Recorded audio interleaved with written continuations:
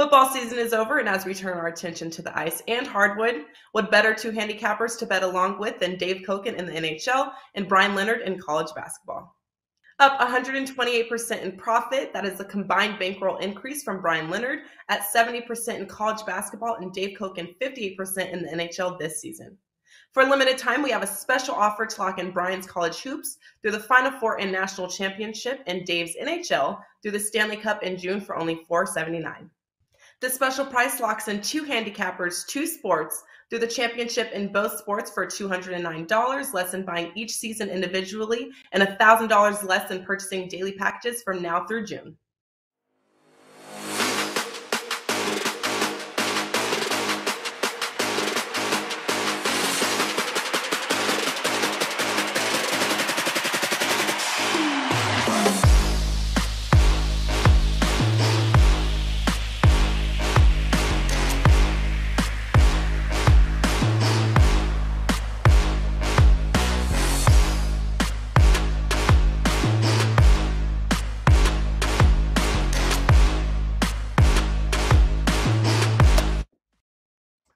Hey guys, welcome in on a very happy uh, Thursday to you here, February the 17th, and uh, another loaded card in college hoops tonight. We're going to break down a few of these marquee matchups for you, and we are going to do it with three of the best here as we welcome in Mr. Tony Finn in the top spot there, uh, Steve Merril back in the seat here with us, and of course, Dave Cokin ready to go here on a nice college basketball Thursday. And uh, Tony Finn uh, continuing yeah. uh, to roll, certainly in the association, the NBA, a lot of college hoops uh, coming up this weekend as well. You got anything in store for us uh, tonight at wagertalk.com? I do. I have a couple of college. And I have two NBA. Surprising with that small card, but I, I, have a couple I think are favorable. So uh, come on, come on by the page, homepage there at Wager Talk. two college, two NBA, one package.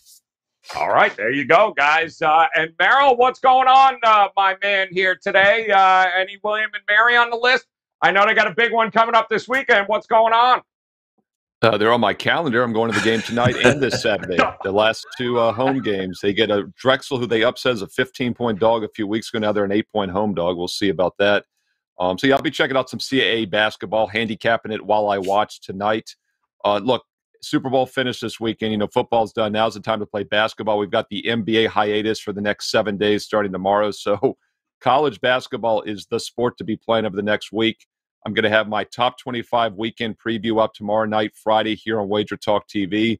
I'm going to have a special promo code in that video for the viewers only, which will get you a nice discount on either a 30 day or the rest of the college basketball season. And keep in mind, nobody has won more money the last two years since I joined wagertalk.com and college hoops. I'm right. Number one, the past two years combined. Sneak preview. If you go to my page right now at wagertalk.com, you get those promo codes a day in advance and get tonight's strong college basketball best bet that's backed by a 77% super situation. Steve Merril, wagertalk.com. All right, good stuff there tonight. And uh, Dave, uh, you and uh, Brian, certainly on the ice in college basketball, continue uh, to rack in the profits there. Your good friend Brian Leonard here. And tell us about the deal that's going on right now for those that uh, may not know. Well, Brian's had an extraordinary year uh, in college. He actually he's doing really, really well with everything. Uh, college basketball's been been tremendous. Uh, he's up sixty something units on the hmm. season.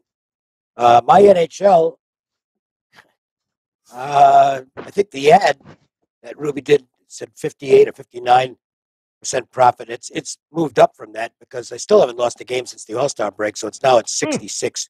net units for the season. I've got to play tonight in the NHL. Uh, I also have, I think it's the deepest college basketball card I've had all season. I went with six games tonight. Wow. Now here's the here's the kicker. One of them's the best bet. You got to buy that. The other five are all free. Five free plays in college basketball tonight. So just go to my homepage. Uh, you can sign up for the uh, special offer with Brian and myself, or individual games, whatever you like. Uh, and that's at uh, wt.buzz slash DC. Love it. All right, guys, head over there. All three of these gentlemen uh, ready to go here tonight, and so are we as we start off in the Big Ten here, guys, as uh, Michigan will be taking on Iowa. They opened up as a uh, six point home favorite here tonight with that total right around that 151 and a half as an opening. And uh, Iowa, nice little three game winning streak going on, beat uh, Minnesota. And of course, just when you start trusting Michigan, uh, they uh, throw up against uh, Ohio State. So, what do you do here, Tony Finn? You trust Michigan, uh, or is it Iowa all the way for you? Well, I think that's a, a great way to approach this game. Do you trust Michigan? Um, I you could even say, do you trust Iowa? For the most part, this team has lost, I think, seven games this year. That to that number, which is surprising. And when and when Iowa does lose, Joe, guys, uh, it's Murray hasn't reached his scoring average and uh, all but one time. The seven losses they do have, and, and as well, he's leading rebounder. In those seven losses, he's only met his average in rebounding one time, uh, two times. Uh, say that the game they played against, I think, uh, Rutgers or Penn State, when there was some, there was more, a lot, lot more missed shots than made shots. But in this game, it's this is all about. You mentioned Iowa's schedule. Their three game winning streak isn't you know anything probably to write home about. What was it? It was uh, it was it wasn't fantastic. Three unranked teams. Mm-hmm. Um, Michigan lost to Ohio State after really having a pretty good week. We had a two and three. They they put a licking on Purdue, a game that I looked at and looked at, guys. And to make a long story and a big story, which I think is tonight, is a big story for Michigan, much more so than Iowa. Is can you trust Michigan to be able to outscore Iowa? Uh, Michigan can score. Uh, the problem is, can they defend Iowa in Iowa City? Uh, can they keep them 10, 10, points below their season average? Maybe more, 15 points below their season average. That's what they're going to have to do to win this game. I have a problem with it. I really have a problem with trusting them defensively. Uh, and for the most part, this I think is a pretty high total for a Michigan team that has uh, only exceeded this number, I think, once or twice this year, 150 and change. Uh, I would like the over. Not on this game, not in this room, guys. But I, if I were, I would be over the total and probably staying away from from either side. All right. Uh, unlike uh, the easy schedule for Iowa there over the last three, it's been a hell of a run here from Michigan. Uh, they did beat Penn State there, Merril. They beat Purdue, but you know when you go, uh, what was it, four of eighteen, I think, from three, uh, bad things tend to happen against Ohio State, and they did. So, what do you think we get here tonight? Yeah, what's interesting about Michigan is they don't take the threes like they did, you know, years ago. They were a heavy, heavy three point shooting team. Uh, that's not the case anymore. They get most of their scoring from two point range. Uh, pretty efficient doing so. But one thing about Michigan is they want to play slow still. Iowa likes to play fast. So I think pace is going to be the key here. You know, normally I think you can slow down a fast team easier than vice versa. But as I always say, home teams can dictate tempo normally. And I do think uh, Iowa actually might dictate the tempo here at home tonight. If it's a faster paced game, that gets me maybe looking at the over here in this one. Um, also, Iowa does not turn the ball over. They have the best uh, turnover percentage in all of college basketball. They only turn the ball over about 12% of the time. That's best out of 358 teams. Uh, Michigan does not force turnovers at all, one of the worst in the country. They're actually 335th in forced turnover percentage. So when you get a home team that I think can maybe dictate their preferred pace, and you know is going to definitely win the turnover battle. Um, it gets me leaning that way on the side, but also when there's less turnovers, there's more scoring opportunities. And once again, that's going to enable Iowa to push the pace when they're not turning the ball over. So I like the over here in this one. Uh, it's currently in that 140s range, about 149 ish. Actually opened as high as 151 and a half. So it's come down a bit. I actually disagree with that move. All right. Doesn't like it there. Dave, what do you think here? Big Ten action. Six always seems like it's a big number with the Big Ten. What do you think? well, I guess I'll be repeating what Steve said. Uh, the, the, tempo matchup favors the home team. They want to play fast. Michigan doesn't, and home teams have a tendency to dictate the tempo, especially when they've got superior personnel. Uh, the uh, turnover issue. I mean, Iowa just doesn't turn it over, and Michigan doesn't force turnovers. So, it, it, to me, it's going to come down to a battle on the glass. Now, the one thing that would concern me is, look, I'm not the coach. Michigan, and Juwan Howard certainly knows more about his team than I do, but they're athletic. And I've, I've wondered all season why they're playing at such a snail's pace. I think this team might be better if they go up and down the court. I lean Iowa in the game. Uh, I have a very difficult time trusting them because they're just they're kind of a soft team. And if this turn, does turn into a physical battle, I think that actually will favor Michigan. Iowa is not a tough team, uh, but if, my numbers say Iowa, and uh, the tempo thing would put me in their category. It's certainly not a play for me. All my plays tonight are underdogs, every one of them. So I'm not on any favorites, but I would lean to Iowa in this game. It is uh, the first matchup between these two teams, guys. Uh, last week of the college basketball regular season, they will meet again uh, in Michigan. So we'll see how it goes tonight. Michigan taking on uh, Iowa. Uh, we'll head out to the Pac 12 next. Let's take a look at UCLA and the uh, and the Washington State Cougars here as UCLA opened up as an eight and a half point favorite in this game, 129 and a half as a opening total. Steve Merril, uh, big win for uh, big win. well, let's face it, UCLA hasn't done much winning as of late. But what do you think uh, at home tonight against Washington State? Yeah, it's been kind of downhill ever since the the big Arizona win, right? They um you know, had that monster win at home against them, and then um, you know, got a little flat for a few games after. They they kept it going to that home stand, but I guess you really say when they hit the road is when things went south. We talked about that game a few weeks ago here, that rematch at Arizona. They lost that. They came out flat uh, the next game and lost in overtime against Arizona State. Uh, they bounced back against Stanford as I thought they would. I actually used them as the free play here on the show that day, but then they've come right back and they lost outright as a favorite at UC, USC. All four there were road games. And as I mentioned, they won and covered the three straight home games before that. So I do think it's good news for UCLA that they're getting back home tonight. And we talked about turnovers in that last game about how good Iowa is. Well, UCLA has given them a run for their money. UCLA has had nine turnovers or less in seven straight games, which is just remarkable. Iowa and UCLA, probably the two best ball handling, ball protecting teams in the nation this year. And I bring that up because one thing that Washington State relies heavily on, unlike Michigan, is that Washington State forces turnovers. Um, and they're not going to be able to do so here. So their preferred way of playing is not going to work tonight against UCLA, a team that'll be focused off the loss, returning home. And Washington State relies heavily on the three point shot. Uh, UCLA's strength on defense is actually two point D, so that would get me leaning towards the over as well, over 129 and a half. Uh, so I like UCLA and the over in this one tonight. Great Mick Cronin uh, comment about uh, that USC loss going the way we're playing, I don't know why the hell anybody would storm the court after beating us. I love Mick Cronin. Talk to me here, Dave. What do you think of? Uh, can they right the ship here tonight at all?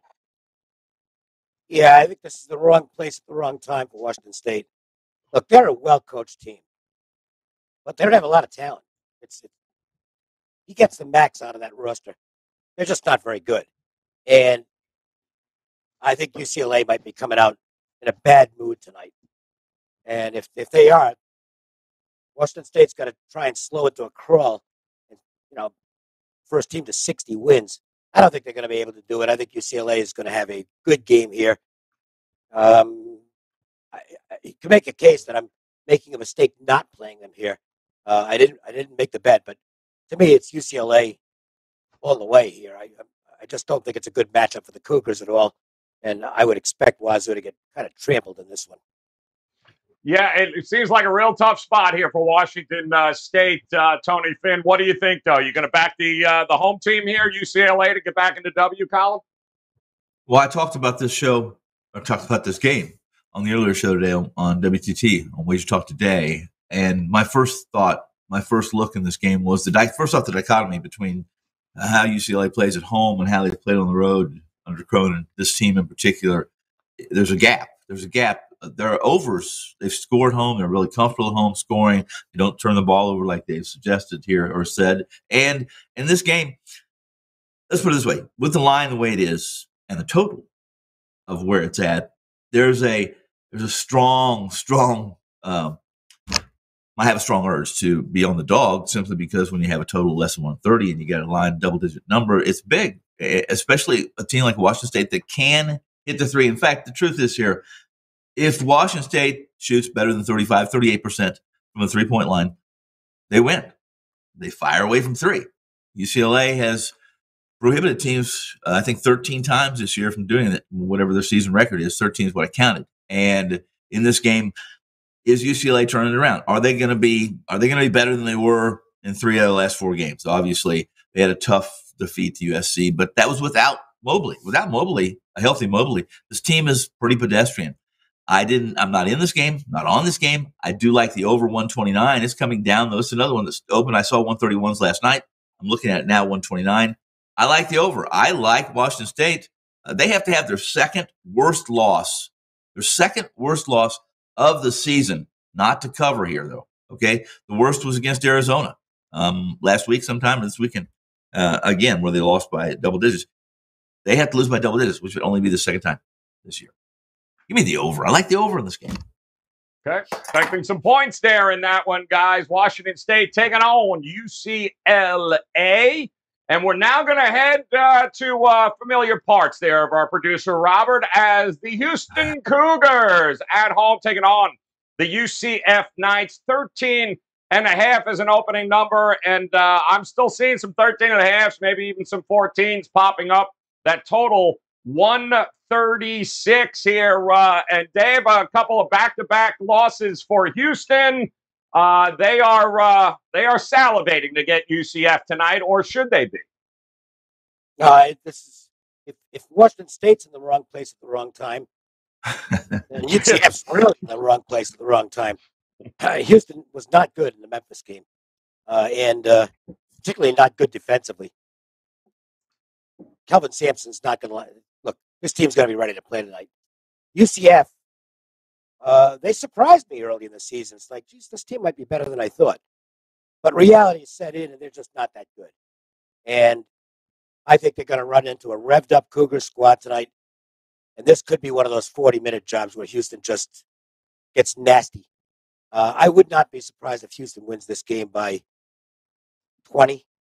I, I think they've got a chance to slaughter the uh, the Knights tonight. So Houston's the side I like in this one. Yeah, you give them all the credit in the world. You lose your two best uh, players there earlier in the season, and they are still as competitive as ever here, Tony Finn. It yeah. feels like a mismatch. It's priced as a mismatch. Are you willing to lay it here with the Houston Cougars tonight? Yeah, I would be. If I was in this game, I would be mostly because uh, of, as Dave mentioned, because of Sampson, because of his. Uh, this is listen, guys. This is a team that um, while the road wasn't that difficult, right? Would they be to get to the Final Four last year? They win. Um, they they were only facing like four dogs or four double digit dogs. I can't remember. I read something, but I always go back to that. And that fact is that uh, Sampson took over this program that was once, you know, Drexler and Olajuwon, a program that produced those kind of players, and has kind of re, uh, you know, reignited the fire for for people for fans in Houston for this Cougars team, and I'm glad. I, I liked Sampson. Um, it was too bad what happened to him in, in Indiana, or maybe it's still be Who knows, right? Uh, long story short, in this is that um, while Houston may not be the most talented team in college basketball, they're definitely a team that you can always count on playing hard in Houston tonight against UCF, coming off two straight losses. Um, it could be it, this. This is a game that could be really ugly by halftime. I, if I'm in this game, I'm definitely riding Houston to Sampson, not UCLF. We'll see what happens. All right, good stuff there. Here, what do you think? Uh, talk to me here, Steve Merril. Uh, first half, full game total. How do you approach this? Yeah, I mean, you can make the argument maybe they come out hard right after back-to-back losses first half, but the uh, I don't know. I think the the full game's probably the safest way to play it, and it's Houston's the only way I would play this one. Um, it's not good for Central Florida here. Houston likes to force uh, pressure. I think they can do that at home here. Very uh, good slow down half court team. Also, uh, UCF, uh, as Dave said, catching them in the wrong time here. You know, this is a rematch from an earlier meeting this season with Houston won fairly easily against UCF. So normally you'd say, hey, maybe they're going to overlook this one a little bit after the Memphis game. Wichita State on deck. Um, but I don't think that's the case after back to back losses. And I don't think anything's fundamentally wrong with Houston. Um, as I mentioned on the show Tuesday with my best bet here on the show on the Memphis Tigers, I think Memphis is a very underrated team right now that's finally playing up to their potential and has gotten healthy. So I think Houston caught Memphis at the wrong time now, I think they returned the favor to Central Florida, who's catching Houston at the wrong time. Uh, only way I would play it is to lay it tonight with the big uh, 13 and a half with Houston. Yeah, nobody turns the ball over more than UCF guys, and uh, that's a hell of a defense to uh, to be turnover prone against here. Uh, as Houston and UCF uh, get ready to do battle here tonight, and a bunch of other games here. A lot of big conference matchups of importance here tonight. So it's time to figure out if these guys uh, are leaning towards one of these games a little bit more than the rest. So, Dave, start us off here tonight with the game you got circled for us. Well, I've got six plays tonight in college basketball. One best bet and five other plays, and they're all dogs. Um, I've been using a formula in uh, revenge games with road dogs, and it's it's done well. Didn't do well last night, uh, but uh, for the most part, it's been terrific. So I went that route tonight. If I were going to go one more play, it would be Houston. Uh, I think it's a slaughter scenario tonight in Cougar Country. I think Central Florida gets smashed in this game. Again, my best bet is on my homepage, along with five free college basketball plays. And I've got an NHL selection tonight. Uh, the NHL has been on a tremendous run. Uh, hopefully that continues. WT.buzz slash DC at wagertalk.com. Great stuff, guys. Make sure you head on over there. Grab that best bet here tonight as well. Talk to us, Steve Merril. Where are you? Uh, where are you going tonight? Leaning towards here for a best bet. Going to look at a, a, free play on the late night national TV card tonight on Thursday, a late night game for you. Just a reminder, I do have a strong best bet for my clients at wagertalk.com for Thursday night college hoops out of a 77% ATS super situation, which I give you in the analysis. Also, sneak preview, an advanced look at those fantastic promo codes, which I'll be unveiling tomorrow night on Friday in my weekend top 25 college basketball video. You can get a one day advance jump on a special discount for either a 30 day or the rest of the college basketball season. That's seven weeks through April 4th for a special discounted price. Go to my page right now, stevemerrillwagertalk.com for those details. Number one ranked college basketball the past two years combined at wagertalk.com. Let's look at a free play tonight at 11 o'clock Eastern on FS1 national TV. You can look at UCLA minus nine and a half. A good spot for the Bruins to bounce back as they return home off a tough four game road trip in which they went one and three straight up in ATS. Uh, they'd won six in a row before that. Uh, they'd been a perfect 3 0 straight up in ATS, the three home games before this recent road trip. I think they get back on track here tonight.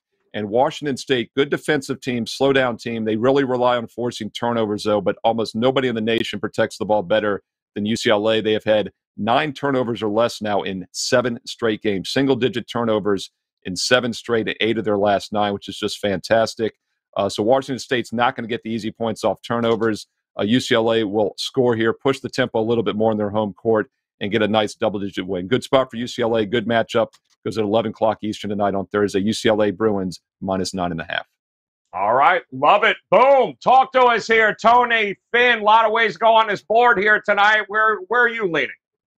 I'm gonna I'm going out west as well with Steve Merril. I'm not going to Pauley, but I'm gonna go to the uh, a game between Santa Clara and Loyola Marymount. And that is, I like the over in this game. Although, as I watched the board this morning, uh, it backs up on me a little bit. It, I think it opened somewhere in the high 140s, uh, 140. Let me look at here, 140 and change, uh, 149.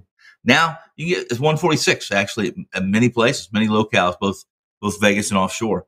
Um, but Santa Clara has kind of surprised some people this year. This surprised me, to be honest with you. They've become one of the more efficient um, high scoring teams, both uh, at tempo and efficient and efficient offensively in adjusted metrics.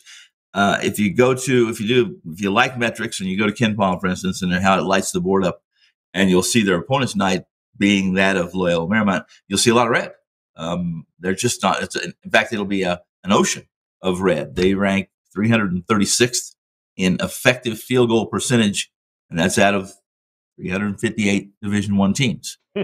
um, they rank over 300th in three point percentage, 317th in two point percent. So they give up about 33, 34 points a game. Tonight's game, um, I think is I think this is a game that that easily surpassed the total. I have to look a little deeper, but uh, because the way this total is going south, maybe something's happened. But right now, at this show, at this time, on the show at this time, over the 146 in Santa Clara, Loyola Marymount.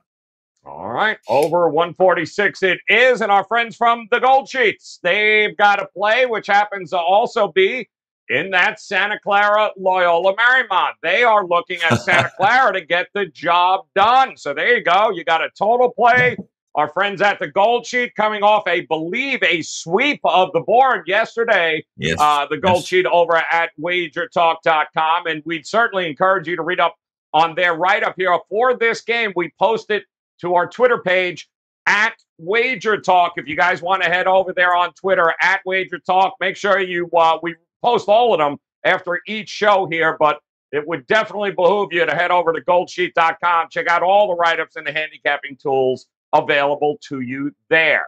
All right, we uh, we've had quite the run here this week on the show. Guests are eleven and one this week. We're looking Wow. to keep that rolling into tonight.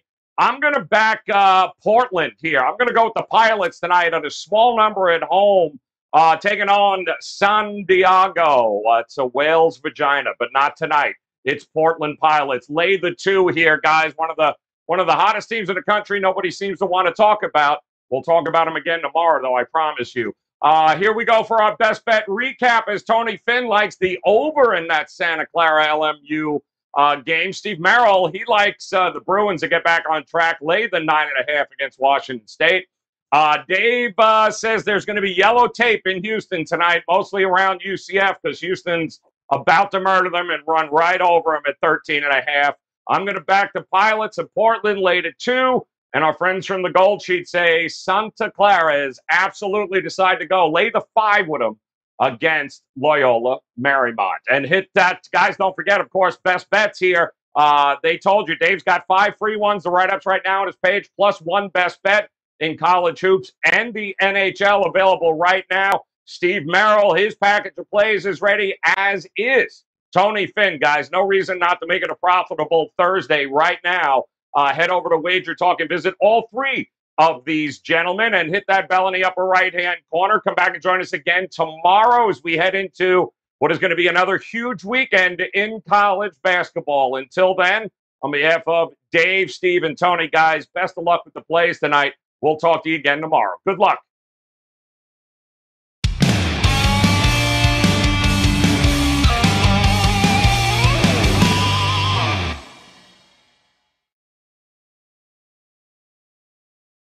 Football season is over, and as we turn our attention to the ice and hardwood, what better two handicappers to bet along with than Dave Cokin in the NHL and Brian Leonard in college basketball? Up 128% in profit, that is a combined bankroll increase from Brian Leonard at 70% in college basketball and Dave Cokin 58% in the NHL this season. For a limited time, we have a special offer to lock in Brian's college hoops through the Final Four and National Championship and Dave's NHL through the Stanley Cup in June for only $479. This special price locks in two handicappers, two sports, through the championship in both sports for $209, less than buying each season individually, and $1,000 less than purchasing daily packages from now through June.